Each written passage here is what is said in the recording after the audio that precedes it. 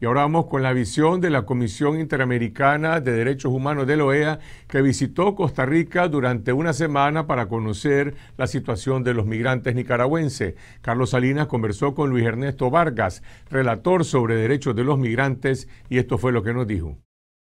Luis, ustedes han venido a Costa Rica para constatar la eh, situación de los refugiados. Usted eh, dice que tomaron 237 declaraciones hasta el momento. ¿Qué pueden determinar después de haber entrevistado a estas personas? Hay una situación bastante compleja para ellos aquí en Costa Rica y imagino que en todo sitio donde puedan ellos desplegarse, donde puedan desplazarse. Eh, hay gente que está aguantando físicamente hambre. No tienen vivienda, por supuesto, a pesar de los esfuerzos que está haciendo el gobierno de Costa Rica por tratar de procurarles un albergue, pues eh, ellos dicen que están definitivamente en situaciones muy precarias. El gobierno es como optimista en el sentido de que las medidas que ha venido tomando son suficientes e idóneas.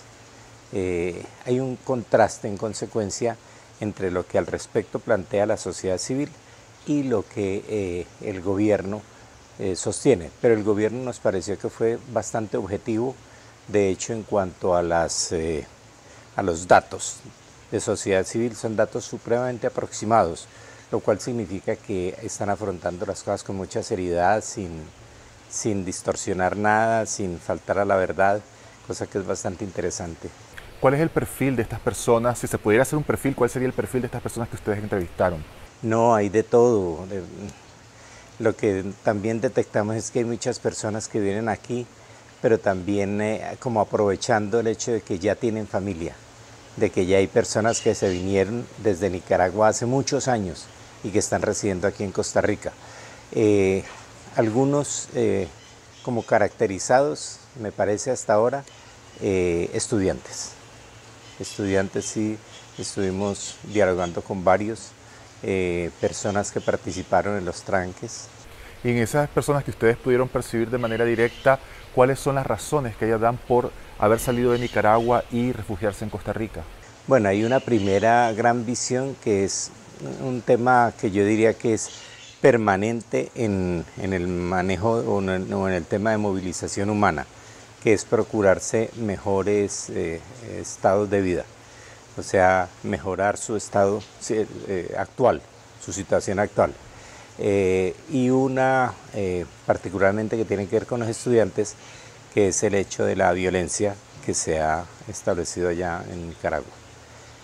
Desde, desde el mes de abril, dicen ellos, entonces que se ha desatado un enfrentamiento demasiado virulento en las calles.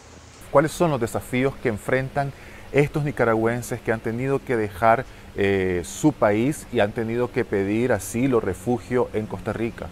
Sea desplazados internos o sea desplazados internacionales, yo diría que el grupo de personas, de los más vulnerables que existen en una sociedad, es el de, el estas personas, los de los migrantes. En ese sentido, eh, se exponen lamentablemente a todo Normalmente tienen que salir y dejar sus cosas donde estaban habitando si eh, fueron temas de violencia.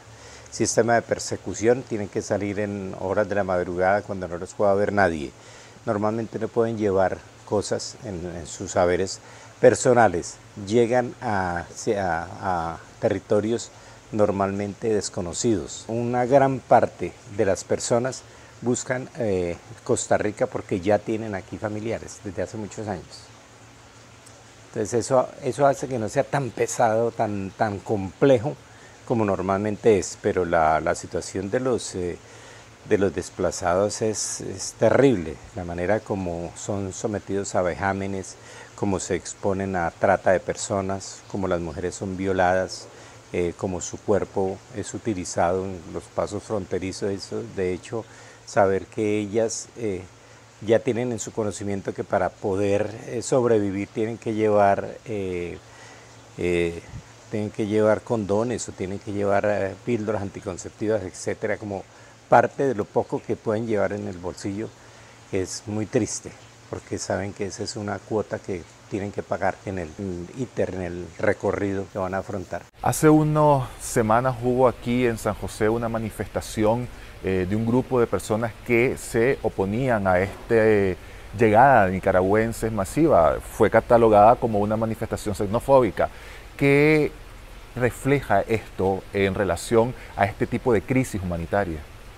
Sí, aquí se presenta una situación particular, bueno, particular, pero que, se presenta eh, de cierta manera eh, frecuente entre países limítrofes, entre países vecinos. Casi siempre el país vecino es el país con, con quien más problemas tienen las personas, con esos eh, discursos patrioteristas, nacionalistas, que se van convirtiendo en discursos de odio, entonces empiezan, en vez de tener un buen vecindario, empiezan es generando una cantidad de conflictos entre los países limítrofes.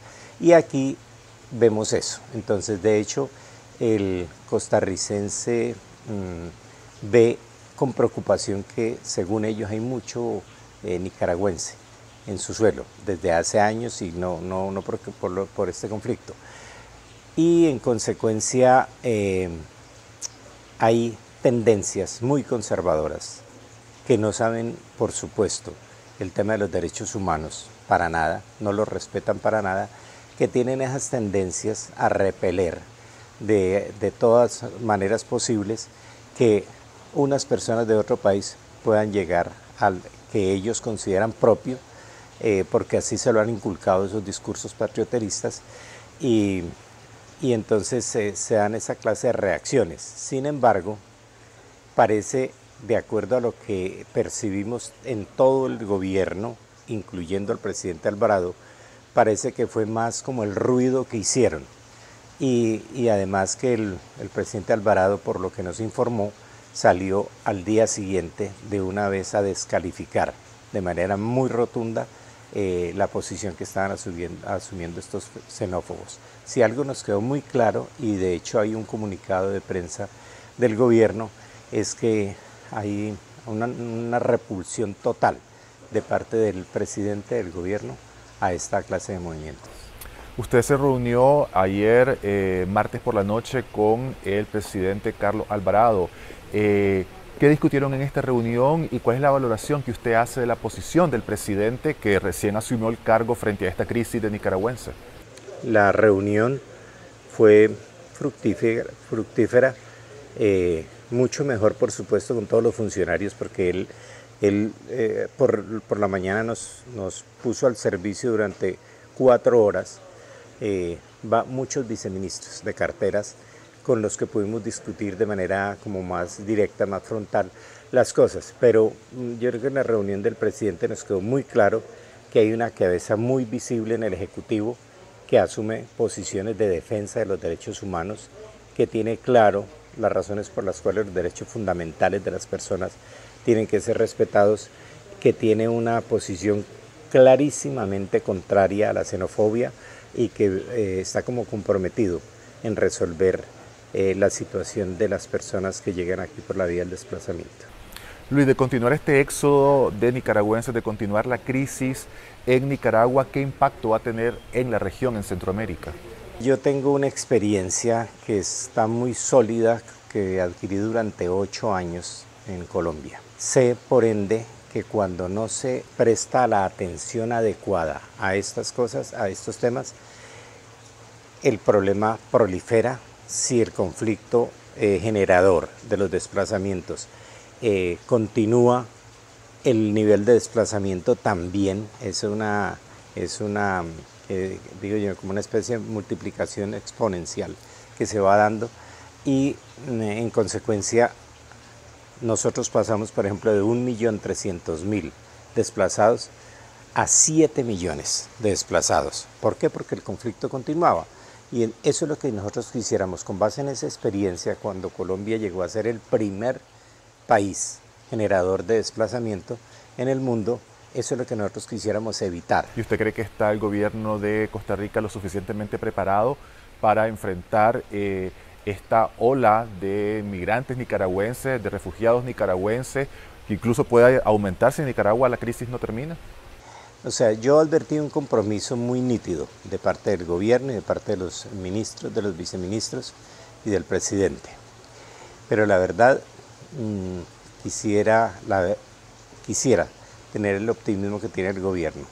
Yo creo que es bueno que sean mucho más precavidos porque como les decía antes, no sabemos nosotros realmente si esto se va a incrementar o va a decrecer. ¿Qué esperan ustedes como una organización que trabaja con los refugiados, con los derechos humanos de la comunidad internacional en casos como estos? Que le den apoyo al país receptor. Yo creo que si hay en este sentido un clamor y su, pregunta es magnífica para, para dar respuesta a, a esto que es como un sentimiento que se tiene por parte de los países receptores, ejemplo Colombia con Venezuela en la actualidad eh, República Dominicana con Haití, etcétera, y en este caso eh, Costa Rica con Nicaragua, eh, es poderle decirle a las organizaciones internacionales, a los organismos internacionales, a los defensores de derechos humanos, a todas las entidades que puedan financiar como determinadas políticas públicas en un Estado que le procuren el mayor respaldo al Estado receptor. Eso es lo que dice el representante de la CIDH de OEA sobre la situación de miles de compatriotas que han tenido que buscar refugio en Costa Rica, cuyas historias les contaremos en detalle la próxima semana.